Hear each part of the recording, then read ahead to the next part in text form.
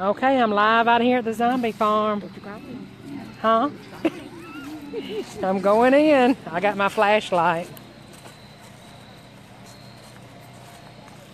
There's a there's a ticket booth over there.